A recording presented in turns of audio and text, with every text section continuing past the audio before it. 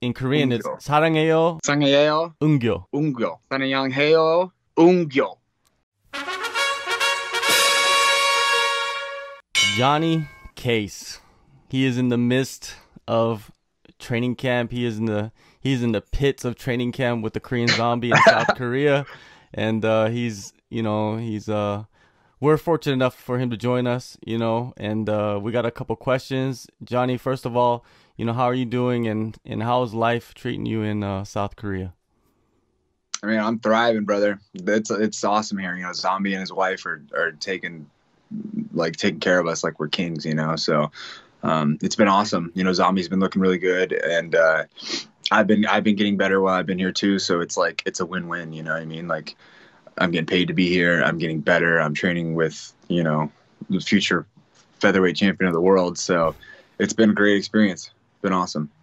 All right, so I got a bunch of questions from the Korean media and and some of the some of the fans in Korea, UFC fans, MMA fans. You know, they know who you are, and uh, they know more about you since you know you're in in Korea, getting you know getting the zombie ready for his fight against Brian Ortega. So let's uh, let's start with the first one. You know, you've been in South Korea for I believe over a month now.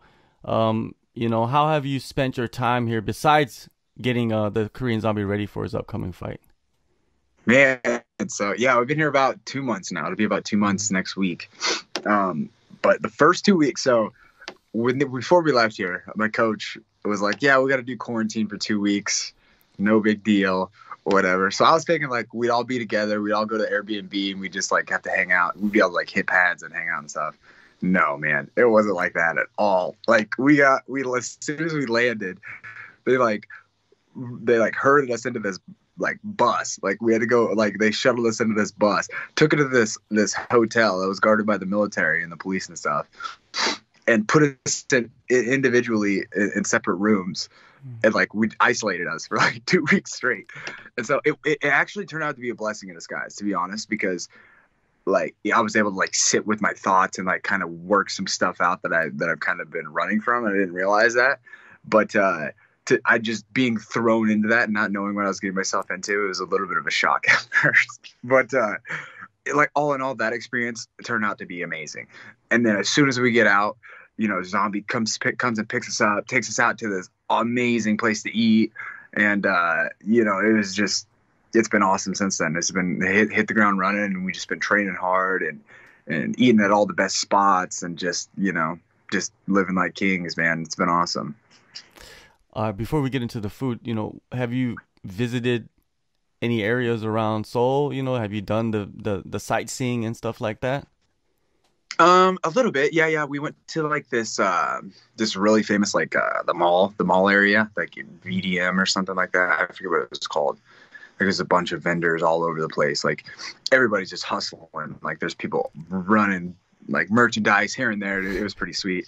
Um, and here in Gangnam, uh, like we're right in the in like the the happening district where like all the restaurants and bars are and stuff. So we've uh, gone out got done some karaoke um, had had a good time with like Jay Park and and and Woogie Park and yeah, just been just having fun, just you know, getting out on the town, seeing some stuff. But um, yeah, we were supposed to go on a mount like on, on a hike, but it ended up raining that day and we, we weren't able to go. So hopefully we'll get to do that too. All right, now with uh, Korean food, does that does that suit you? Oh, dude, the food has been amazing, man. It's been so. It's like the best food I've ever had. No matter everywhere I've gone, it's like, you know, it's it's five star dining. You know, and a lot of that's too where, where zombies taking us to eat. Like he's taking us to all the best spots, obviously. But uh, yeah, I, I haven't had anything here that I don't like. Oh, really? So you know, do you eat the Korean food often? Do you eat rice and all that every day? No, no, not really. Like this, this is the first time I'm having like real authentic Korean food. You know I mean? Ever like anything, barbecue, uh, the chicken, like you know the seafood, like every anything like the Korean style. Like this is the first time I've ever experienced it. Um, All right. So is so you have you ever have you ever ran into any food that that did not agree with your palate? Mm, no, I'm pretty open to, to most every food though. Like no matter where I go in the world, like I always try myself like or tell myself like just try it. You know what I mean? Just try it. And there's nothing that I had where I was like I've had it and I didn't actually there was one in Japan. So there's this uh it was like a green egg. So what it was, it was like a partially developed chicken in an egg and then they cracked the egg and then let it like ferment.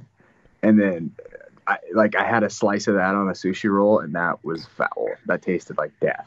That so that's like the only thing I think I've had in my life where I was like, I'll never eat that again. So no, so nothing like that in Korea. I had live octopus the other day, had live crawfish and stuff. So that was a new experience, and that was good though. I enjoyed it. Tastes Yeah, yeah. good. Yeah. Now, um, is there any Korean culture that you know that you felt like was very unique? You know, compared to like what you're normally used to.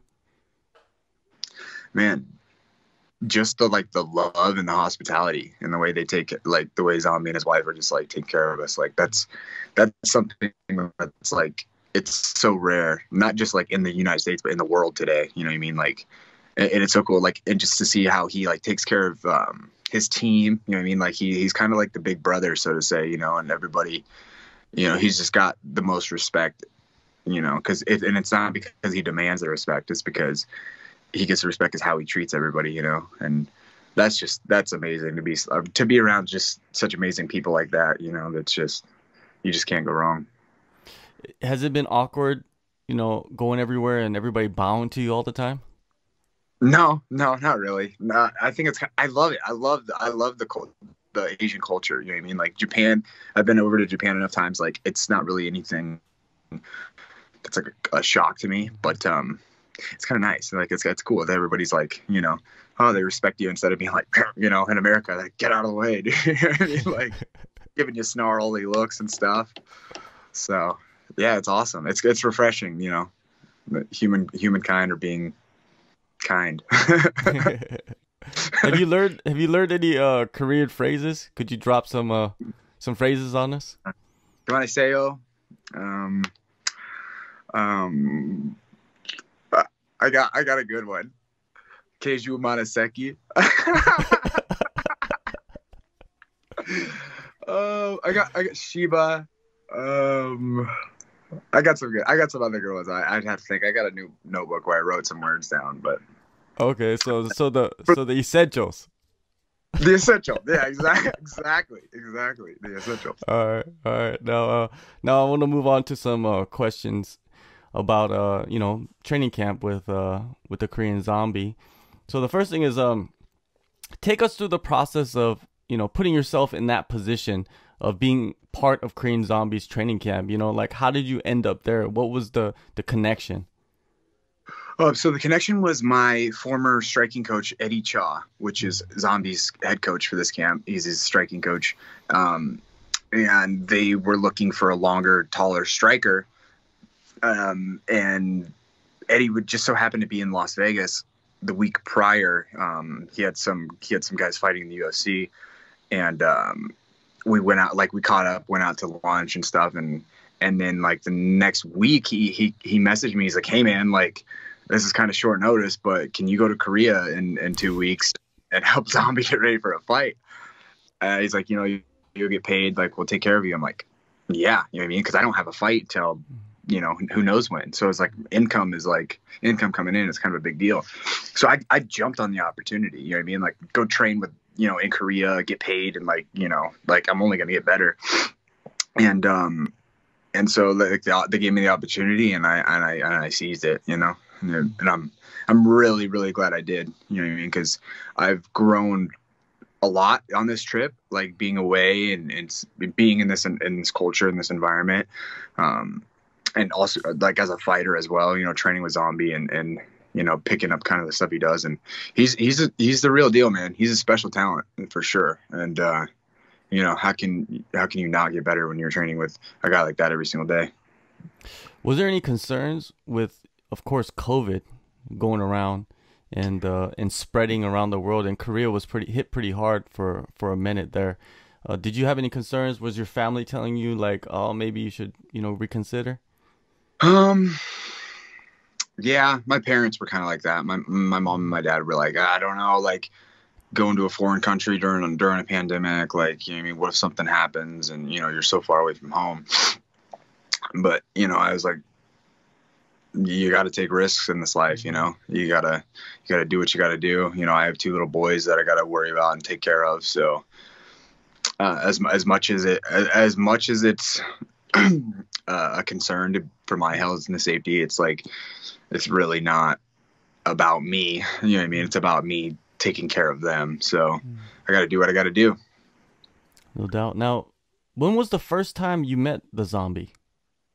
Uh, the first time I met the zombie, he was training. It was at the MMA lab. Mm-hmm. I think it was like 2017, 2016, something like that. Um, he had he had been there for a fight camp. I forget who he was fighting at that point.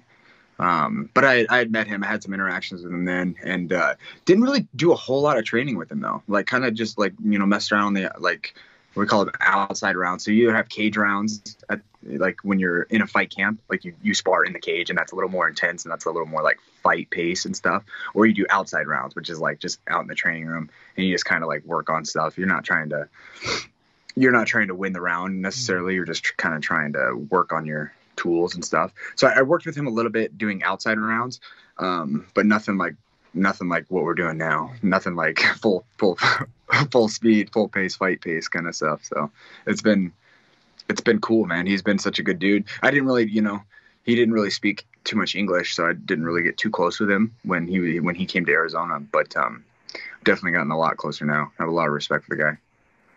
What is your uh, weekly schedule like for for this training camp? Like, how do you split the time? Uh, so we train. What is it? I think it's like eleven o'clock Mondays and Tuesday. Monday, Tuesday, Thursday, Friday, Saturday, and then we do six six o'clock at night, Monday, Tuesday, Thursday, Friday, and then Wednesday, Sundays our rest day. And then Wednesdays, like he's he takes us to um, the hospital, like, and we get like massage and chiropractor, like every on our on our off days. So he's like, I'm gonna beat you up, but I'm gonna I'm gonna make sure your body's gonna be good awesome. to go for next week. So yeah, so it, training's been good, man. This this this schedule that they do, um, it's it's unique to anything I've ever I've ever trained because um, normally it's like you, you, get up, you go to you go to like a team class, and then you go to team practice.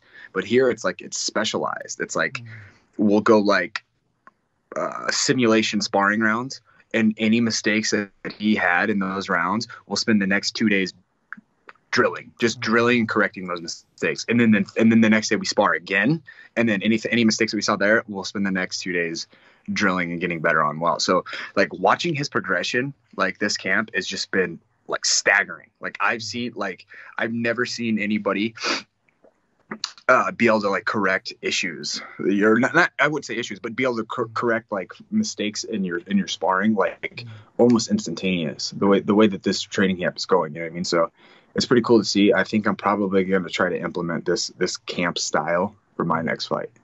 Wow. Anything surprising about the zombie? You mentioned a bunch of things earlier, but anything else? Surprising uh his power. His mm-hmm. he's he freaking hits hard man. And he's only a, you know he's a featherweight. I'm a weight class bigger than him. You know what i mean? And so and he hits he hits like the hardest hitting guys in my division. So i couldn't imagine being a featherweight and getting mm-hmm. smoked with a four ounce glove with like because it, it is shocking. Like the first time he hits you you're like whoa like wow. God, mm-hmm. where's this power coming from dude but then and then it's funny because you watch him from the outside and you watch his stance and you watch his footwork and the way he plants. And it's like he's not hitting you with his body. The way he plants and sits into his punches he's literally hitting you with the planet. Wow. And it's like like he's just got really good balance and timing and footwork. And that's that's kind of surprising especially when you're going with them you know the best man. You're in there. You've been in there for two months basically yeah, yeah, for sure. And that's the oh. thing too. Like I sparred with all the like some, some of the most hmm. the, the best fighters in the world. You know what I mean? Some of the best guys in the world. And to say that like zombie is is a special talent is like um you know that's saying something because like I said I've gone with with some of the best guys in the world so uh, I have no doubt this he's gonna destroy Ortega and you know go on to win this title. What do you think is the the difference maker between the zombie and, and Ortega besides I guess the the power? Tactics and mm-hmm. gameness. Mm-hmm. Gameness. Like you know, Ortega's good. Ortega's a great fighter. Like, yeah, I there's you can't take anything away from him there. But Zombie is like trying. He's trying to finish the fight. He's trying to knock you out. He's not gonna go out there and he's gonna try to like slow the fight down and then maybe maybe snatch a neck. Like he's gonna go out there and he's gonna punch a hole in your face and he's gonna come forward the whole time. He's gonna try to finish you. He's not gonna try to, you know, sit back and win around round. You know what I mean? He's he's gonna he's tenacious and um, it's hard to fight guys like that. Guys who put on pressure like that and guys that are in your face, especially guys who do that and they hit as hard as Zombie. Like man, it's just it's just a matter of time for one sneaks through and and that's it. You know what I mean? Um, I've talked to a lot of guys that fought Ortega too, and they said like he just doesn't really have the pop on his punches. But everybody can knock anybody. I mean, anybody can knock anybody out, but like real punchers, like you get hit by a guy and you're like, oh, oh don't want that happen again. And then you get hit by a guy who can really punch, and you're like, fuck, I cannot let that happen again. I cannot let him hit me again. I mean, and zombies definitely the latter. So um, yeah, I think it comes down to tactics and just and balls, really. You know what I mean? Like Zombie's gonna get out there and he's gonna he's gonna hurt you. So I think that's it. Could you could you compare him to anyone in the past that you've trained with? Mm, no, no. He's no. He's he's unique all on his own for sure. Um, yeah, I've never trained with anybody like Zombie, and which is awesome too because you know I'm I'm a pretty I'm a student of the game, you know what I mean, and I learn pretty fast. So being able to work work with Zombie has has been a breath of fresh air um, in my training as well. So I've definitely picked up some some, some good things to take to take away from this camp. All right, now moving on to uh, the the news in in the MMA world, uh, like uh, at UFC stuff. You know, let's uh, let's get into the um, the biggest fight probably in lightweight history is uh, Khabib versus Gaethje. You know, who are you expecting to win this fight, and and how do you expect this fight to play out? You know, my heart, my heart wants Gaethje to win. You know, I like, I, I like, I love Gaethje. He's kind of, he kind of got into the to the UFC and like, like he's not, he hasn't had a easy road. You know what I mean? I feel like everybody was kind of like doubting him, like, oh yeah, we'll just give him the tough guys, and then he'll fizzle out. And here he is getting ready to fight for the world title. And um, you know, I, I, you can't take anything away from Khabib either because he's a freaking monster. And you know, I mean, my logic says Khabib is probably going to win the fight, but my heart says Justin. So I'm kind of torn, man. Um, I want Justin to win. Hmm. I think more likely Khabib's going to win. Do you think Justin, if he does win, it'll be by knockout? I I don't. It could either be by knockout I mean, I could go any way. I think he could submit him too. I think mm-hmm. honestly, he could he could sink a guillotine choke. Like, uh, I think he could also win a decision. You know what I mean? Like, I think I think if he can if if he can stuff the takedowns and he can get back to his feet, I think that's a bad fight. Mm-hmm. And I think I know Khabib is tough, and I know Khabib will, will hang with him. You know what I mean? So if Justin doesn't doesn't catch him and put him out, then it's just going to be a war. I think so. I think I think everybody's going to win on that one. All the fans will win that fight. Definitely. Um, the newest uh, addition to the UFC lightweight division is Michael Chandler. Considering everything, you know, I mean, his age, his experience, his, uh, you know, even like, I guess his overall record of like the, the the the opponents that he has faced. How far do you believe he can go in the UFC? Um, you know, honestly, like, I think he, I think he can make a run at it. Um, you know, Chandler was a former teammate of mine. I trained with him for like four years, three years at the MMA or at the Alliance MMA, and uh, one year at Power MMA. And uh, he's definitely a world class fighter for sure. You know what I mean? Like, um, he's definitely right there in the top top mix of the of the division. Um, it just all it all comes down to like styles make fights. You know, whoever he gets matched up against. Um, I know he can fight with, he can compete with, but it just comes down to style. Which is, but I will say one thing. I think it is kind of, kind of messed up that he, he gets signed and he comes in and he's already he's the replacement for the title. Like that's like there's so many guys above him that deserve better. You know what I mean? Like you know Oliveira, you know Poirier, even you know what I mean? Like Ferguson, even like all these guys. It's just like that's kind of a slap in the face. I'd be asking for Chandler. Like, if Chandler doesn't get this fight, I'd be like, yo, Dana, sign it up, dude. like, see what you almost did. You know what I mean? Like, I'm gonna beat this guy. So, yeah. But I wish him the luck. I wish him best of luck. I, I hope he has a a successful run in the UFC and um, he retires there if that's what he wants. Now, is is do you see yourself eventually returning to the UFC? You know, I've I've definitely thought it's definitely crossed my mind. It's mm. um, but right now, like I'm not I'm not concerned with that. Like what I'm concerned with is making as much money in a short amount of time, and to me, the the PFL is the is the best way to do that. You know, because they're they're already paying me per, like more than my UFC contract was per fight, but then there's the chance, the incentive of winning that million dollars, and you know that's life changing. You know, it would take me, you know, five, six, seven wins in the UFC before I'm fighting pay per views and making those, you know, that kind of money. So for me, it's about money right now, but I would definitely be open to. Uh, you know, going back to the UFC. It just comes down to money, you know. How different of a fighter do you believe you are since leaving the UFC? Man, I've I'm night and day. Like the Johnny Case that that is here today would utterly destroy the Johnny Case that you know I, I was young when I got in the UFC. You know what I mean? And I was I was kind of in the wrong mindset. I wasn't really I wasn't fighting wasn't my everything. You know, fighting was just something I was good at. I enjoyed doing but I was kind of a wild kid still. You know, I was kind of not not dialed in, not focused, and not on my own grind. So, so yeah, so that's that. Um, but I, I know for a fact that uh, that uh, I got to uh, I've gotten a lot better just since being cut from the UFC. All right, now some some personal questions that I believe the fans want to know. Um, why is your nickname Hollywood? so I got the nickname Hollywood because when I first started fighting, I uh, I used to have like really long like blonde hair, and I kind of looked like a surfer kid. and uh, my first two fights were like 30 second like knockout highlight reel fights. And uh, so after my second my second fight, I, I came to like the fighters meeting for my third fight, and the promoter's like, "Oh, here comes Hollywood, waiting on Hollywood," and everybody's like, "Oh no, like that's it." So I got it because I got like my my surfer boy looks and also my uh my like highlight reel finishes. Mm. I did not know that, man. I've never asked you that in the past. I did not know that.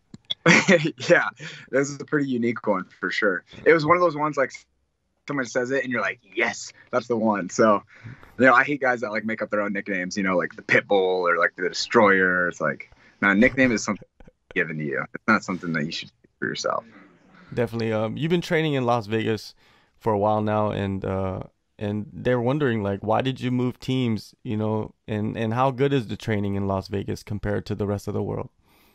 Ah, oh, man. So Extreme Couture is awesome, and I've made the most the most improvements in my career being there and training there.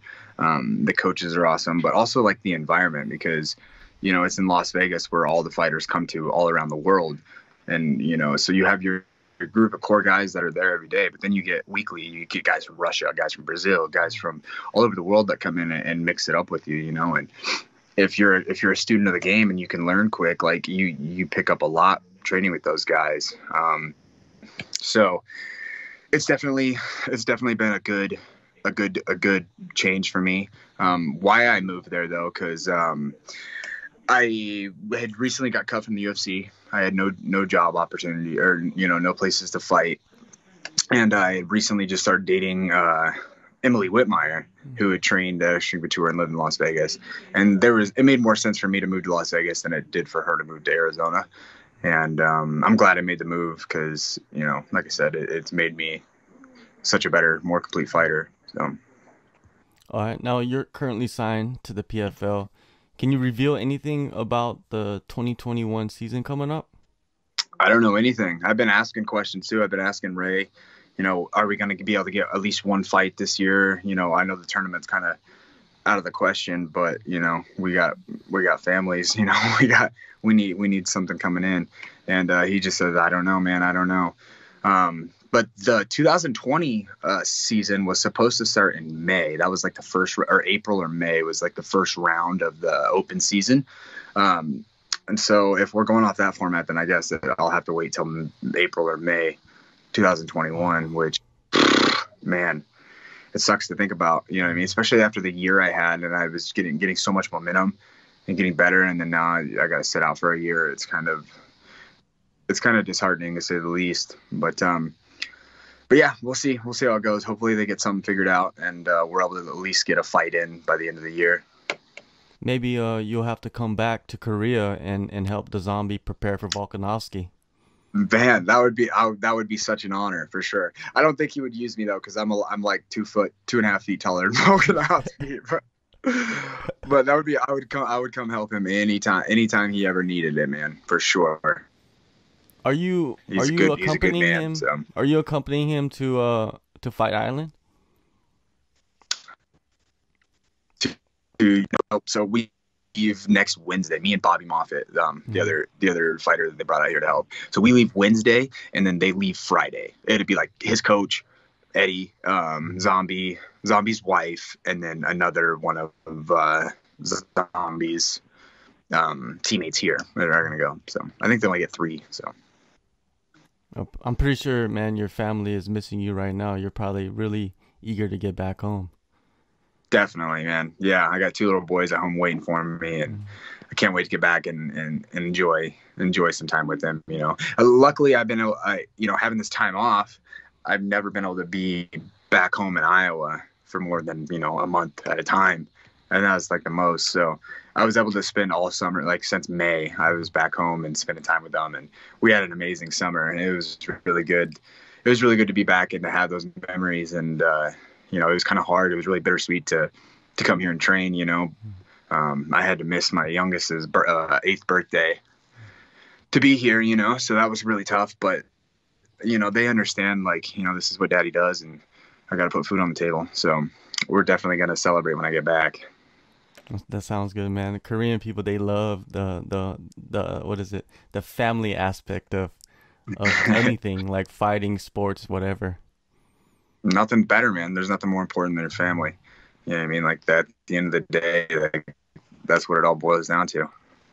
All right, now because you came to Korea to help the Korean Zombie, a lot of Korean fans they got to know you a lot better. You know what I mean? From from interviews and videos and stuff that's circulating.